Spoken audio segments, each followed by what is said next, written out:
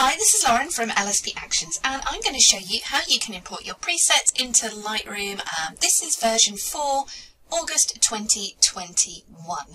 Um, you will find versions for older versions of Lightroom, including Lightroom Classic, the older version of Lightroom CC on the YouTube channel. It all depends on which version of Lightroom you've got. They're all a little bit different. So I'm going to show you how you can import your presets into Lightroom version 4. Let me just get this up on the screen for you.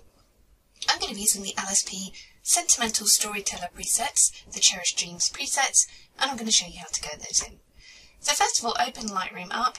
If your Lightroom looks different to this, it's possible you're using a different type of Lightroom, such as Lightroom Classic, uh, the older version of Lightroom CC, um, or other versions of that. So you can check the channel and see which one looks more like your version of Lightroom because Adobe's always moving the goalposts when it comes to importing presets. So first of all, come up here onto this little slider um, option up here. This opens up your edit panel. And you will see here, right at the top, you have this little icon called presets. So you can go ahead and click this, and you'll see your presets here. You may have other presets loaded in, um, you may just have the Lightroom standard.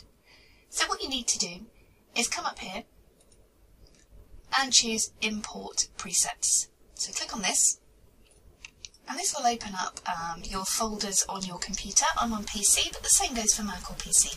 So you need to go ahead and locate those presets on your computer, so go ahead and find them. I'm using the Cherish Dreams Lightroom presets here. You see this is a zip folder, this is um, zipped up ready, and Lightroom likes a zip folder, this version of Lightroom. Some versions of Lightroom don't, but this one does. So I'm just going to go ahead, click on this zip folder. You see here it's got the extension zip and choose import. And you'll see here it comes up with loading the presets in. Because they're zipped already, it knows to give them the correct name and the correct title, and they will appear here under the right name. And you can see it's just appeared here, the LSP Cherish Dreams presets.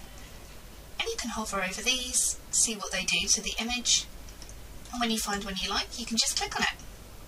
For more information about how to use the LSP presets, um, you can go ahead and um, visit the LSP website at www.lsp-actions.com where you'll find all the video tutorials there.